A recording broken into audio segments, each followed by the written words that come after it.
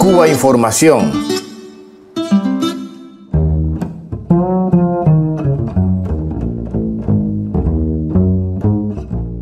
Se decía que el primer presidente negro de Estados Unidos traería una nueva era posracial, pero las muertes nada excepcionales de los jóvenes negros Trayvon Martin en Florida y Michael Brown en Ferguson a manos de policías blancos apuntan a lo contrario.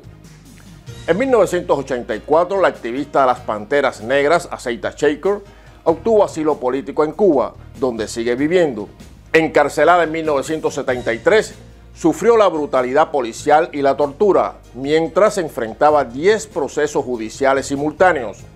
Aunque los medios ya la habían sentenciado, salió inocente de todos los juicios, excepto de uno, el de la muerte de un policía de la que ella no fue responsable. En 2005, el FBI decidió demonizarla una vez más, añadiéndola a la lista de los 10 terroristas más buscados y ofreciendo una recompensa de un millón de dólares. En 2013 aumentó esta recompensa a 2 millones, una acción tan grotesca como la inclusión de Nelson Mandela en dicha lista de terroristas hasta el año 2008. Más grotesca aún cuando Estados Unidos hoy mantiene protegidos a terroristas cubanoamericanos de ultraderecha culpables de decenas de asesinatos y a la vez mantiene en prisión a tres antiterroristas cubanos desde hace 16 años. Aceita Shaker nos pide ahora, cuando el racismo estructural de Estados Unidos resurge de manera brutal, ampliar y profundizar las luchas antirracistas.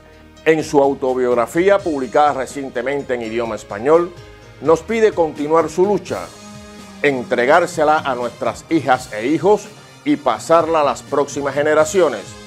Y lo hace desde Cuba, uno de los territorios, palabras textuales de Aceita Shaker, más grandes, más resistentes y más valientes de este planeta.